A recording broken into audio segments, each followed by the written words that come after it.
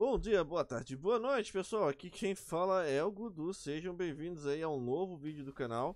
Dessa vez aqui mais um vlog, galera. Pois é. Se não é inscrito, eu peço que você já se inscreva aí no canal. Já deixe seu joinha, já deixe seu like. E, claro, você pode pular o vídeo e simplesmente copiar isso daqui que eu vou deixar aqui pra vocês, tá? Esse vlog, galera, na verdade, nada mais é, nada menos é do que simplesmente o que aconteceu comigo uns tempos atrás aí, que eu achei que tinha simplesmente perdido a chave de casa. Pois é, né? E eu resolvi fazer essa lista que vocês já estão vendo, então, né, vou dar algumas dicas também do que eu fiz, do que aconteceu, né? Algumas coisas são simples, outras coisas não são. Então vamos lá, são 10 dicas aqui, na verdade são 9, enfim, né? Mas você pode achar que tem alguma coisa certa, alguma coisa incerta. Então, como esse daqui é um vlog, vai levar mais ou menos uns 10 minutos, por aí vai. Eu vou deixar essa lista disponível aqui também, no comentário abaixo fixado. E eu peço que você já se inscreva no canal se você não for inscrito e conte sua história, como que, como que aconteceu com algum objeto perdido seu. Geralmente são chaves de casa, chaves do carro, etc. Beleza? Então vamos lá. É, aqui em casa o que aconteceu? Uma, da, uma chave sumiu, sumiu um lápis de passar no olho e subiu uma blusa preta certo? Sumiram os três itens ao mesmo tempo. E aí eu pensei, pronto, lascou tudo, né? E agora? Minha esposa ficou louca porque a chave era dela. Ela falando, poxa, eu dei a chave pra você. Falando, não, não, você não deu. Eu não peguei a chave, tenta. Vamos ver o que aconteceu. Aí a primeira coisa que eu falei pra ela, porque aqui vem a diarista. Então eu cheguei e falei pra ela, liga pra diarista, vai que a diarista pegou, deixou cair, levou sem querer, né? A, a chave e tudo mais. E, ela, e eu fiquei nisso por uns dois ou três dias. Eu falei, cara, Veja com a diarista, veja com a diarista, porque quem que tem aqui em casa? Só tem eu, você e a diarista, ninguém mais veio. Então seria a primeira dica assim, galera, veja quem estava na sua casa. Seja um amigo, seja uma empregada, seja alguém da família, irmão, tio, avô, filho, pai, mãe, né, primos, né?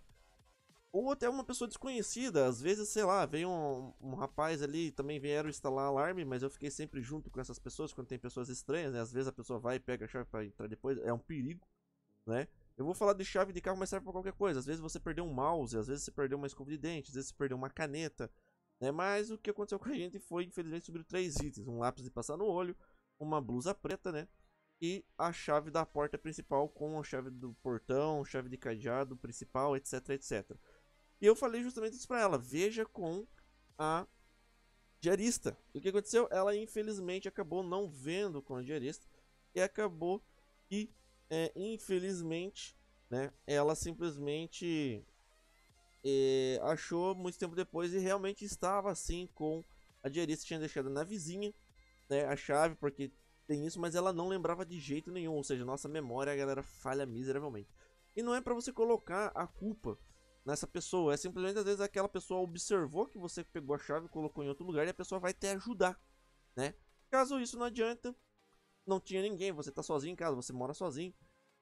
Tente refazer o caminho. Pensa onde que você tava, para onde que você foi.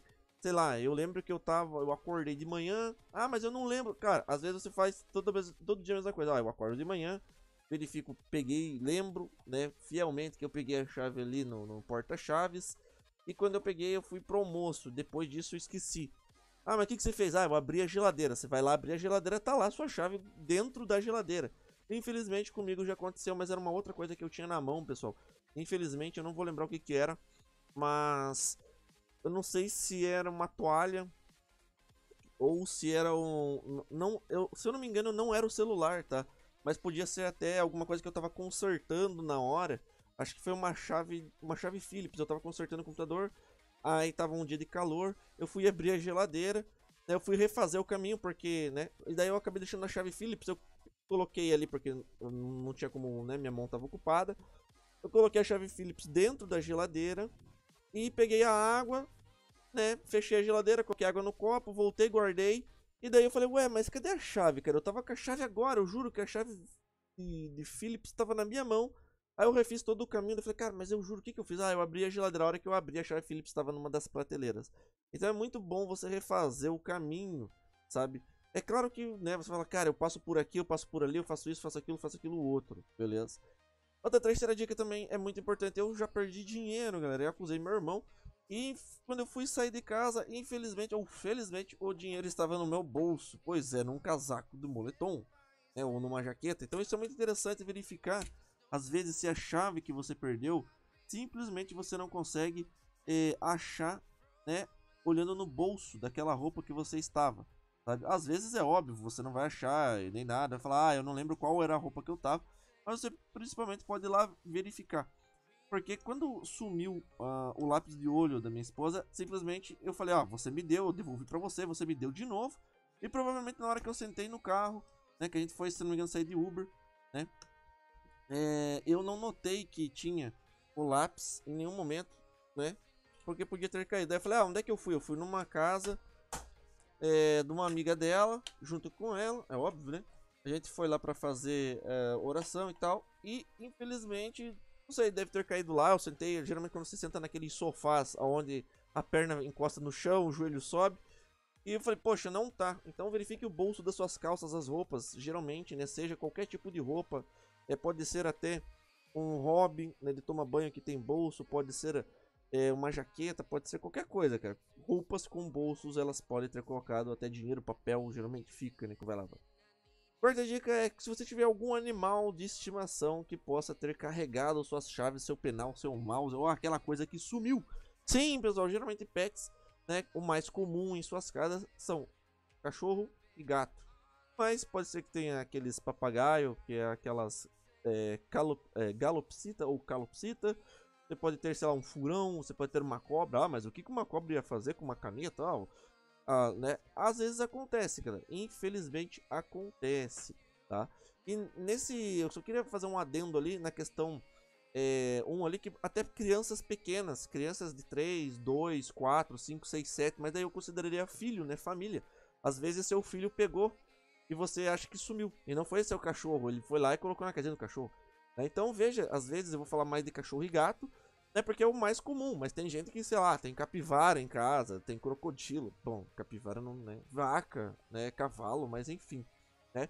Às vezes o seu pet, ou tem um ratinho, um hamster, sei lá, foi ali, pegou, roeu, levou para algum esconderijo, etc, certo? É, então, ao ter algum animal de estimação, independente de qual seja seu animal de estimação, eles podem ter pego a sua chave, pego o seu controle remoto, pego seus tênis, seu sapato, sua calça, sua roupa, aquilo que, aquele objeto que sumiu, tá? E levou até para fora do quintal, sei lá, sumiu, simplesmente sumiu. Né? Tirou do lugar, já era, acabou, sabe? É, então, essa daí é a quarta dica. A quinta dica, galera, se você, é, você já viu se você não mudou de lugar, sabe? Às vezes você tá tão acostumado a colocar na, na, em cima da geladeira tuas chaves e de repente é, nesse dia que você achou que colocou em cima da geladeira não tava, você colocou é, no bidê ou colocou numa cômoda dentro, no seu próprio quarto, entendeu? Se você tiver uma cômoda no quarto ou uma cômoda na sala ou colocou próximo da televisão na sala, em cima de uma mesa de centro, se você só não mudou de lugar, entendeu? Por isso que eu falo, às vezes você mudou de lugar e teu cérebro ainda não acostumou, porque todo dia você chega do trabalho, coloca ali no chaveiro, né, tem que criar esse hábito, ó, vou colocar minha chave sempre na geladeira ou até falar, ó, hoje eu mudei de lugar, fala para você mesmo, né? Ah, mudei de lugar, eu estou colocando na minha mesinha do escritório, né? E às vezes acontece, sabe? Acontece de você simplesmente fazer essa esse trâmite, essa estratégia, você simplesmente alterou sim o local, alterou sim é, o lugar que você colocou e você acha que perdeu, mas não perdeu, você só trocou de lugar e você fica pensando, poxa, eu acho que eu perdi, eu acho que eu perdi. Mas na verdade não houve perda. Sabe? Em nenhum momento houve uma perda, né? Foi você só que nessa loucura do dia a dia, da correria, do estresse, você simplesmente só alterou ali o local. Certo? Então não precisa ficar tão, tão, tão, tão louco, tão preocupado e falando, ah, mas eu acho que eu perdi mesmo. Não, cara, calma, calma que ainda tem mais algumas dicas aí para você ver. Certo? Mas é claro, se você mudou de lugar, é óbvio que daí você vai ter que realmente verificar se não está naquele lugar novo, tá bom? Bom, é, vamos aqui para a sexta dica. Galera, se houve mudança ou doações, que nem aqui a gente acha que a roupa foi junto com uma roupa de doação, sabe? Ou venda de objetos, né? Às vezes você vai vender um objeto que está no carro, daí coloca junto ali, vendeu sem querer, ou a pessoa... Às vezes pessoas que trabalham com vendas em casa, a pessoa achou que estava vendendo aquele objeto também, e você acabou doando ou dando essa roupa, né? E acabou vendendo também, então infelizmente já era. Sabe? Ou outra coisa também que as pessoas podem não lembrar e achar que, ah, eu trouxe para minha casa e tal, a pessoa também não acha na casa dela, né? A sétima dica é, às vezes você levou para casa de alguém, tá? Infelizmente isso também acontece. Vai que você, de repente, pessoa assim, ah, eu vou levar meu mouse lá, mas eu vou trazer meu mouse. E a pessoa simplesmente você deixou na casa de alguém, colocou numa escrivaninha, ou a mãe daquele seu coleguinha, ela guardou o mouse pensando que era do filho. E você tem certeza que você trouxe o seu mouse para casa. E você não trouxe, você simplesmente deixou lá e pronto, acabou, já era. Sabe? Ou às vezes você deixou é, no escritório, você você todo, você nunca leva pro escritório, aí você foi lá, a pessoa assim, putz, cara, cadê aquela caneta, mano? Ah, será que não tá no escritório? Então pense, às vezes está no teu trabalho, às vezes está na casa de um colega, ou de uma colega, de um amigo ou de uma amiga, e infelizmente acontece. Ou também você emprestou para alguém, né? A oitava dica fala disso. Às vezes você emprestou para alguém ou deixou com alguém e a pessoa disse que você não deixou.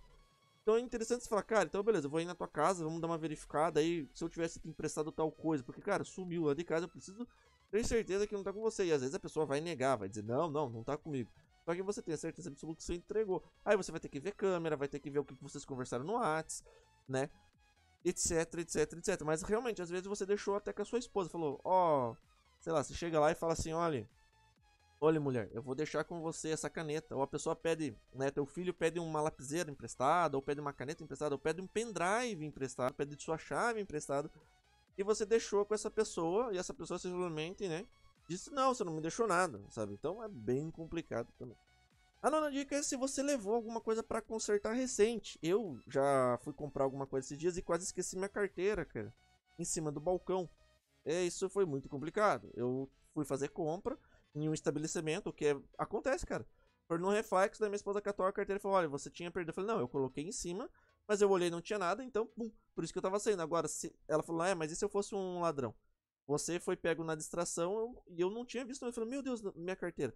Só que assim, ela teria que esperar para ver que às vezes eu deixo minha carteira em cima do balcão e vejo e não tá lá. Cara, se não tiver lá, alguém que tava próximo já teria roubado. Se fosse no Rio de Janeiro, eu já teria me lascado por ter deixado num estabelecimento, né? Ou às vezes você levou alguma coisa para, sei lá, você foi no mercadinho, deixou ali tua chave, isso já havia acontecer. E a pessoa não lembra, falou, cara, mas eu fui no mercado, putz, vou ter que ir lá no mercadinho ou dentro do carro do Uber, por exemplo.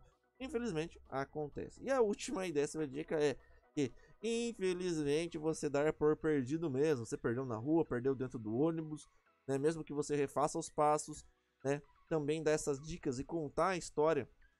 Vai que alguém já passou por isso, galera. Então, deixa aí nos comentários. Eu vou ficando por aqui né? Que às vezes você achou de uma outra maneira. Às vezes você foi viajar, às vezes você perdeu na floresta, você levou no bolso e daí caiu porque o bolso estava furado, ou você deu uma cambalhota em algum brinquedo louco, ou numa cama elástica e simplesmente sumiu, né? Às vezes as coisas simplesmente somem, sabe? Mas acontece, beleza? Então se você gostou do vídeo, se você achou com alguma dessas dicas aí, ou sem ser nenhuma dessas 10 dicas, simplesmente deixa aí seu comentário. Às vezes você fala, cara, depois de dois anos eu achei e tava no forro. Uma vez que eu subi no forro, eu fui lá e achei a minha chave, porque eu fui limpar a caixa d'água, fui pegar um, uma cerâmica no forro e acabei deixando lá em cima e agora tava lá em cima, etc, etc e etc, beleza? Então é isso, um forte abraço, curta, compartilhe, se inscreve no canal, até o próximo vídeo e fui!